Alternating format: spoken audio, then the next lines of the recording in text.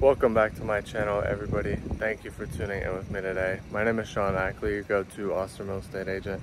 Today, I'm checking out this beautiful modern home out here in the South Austin area. We're gonna be about five minutes away from downtown.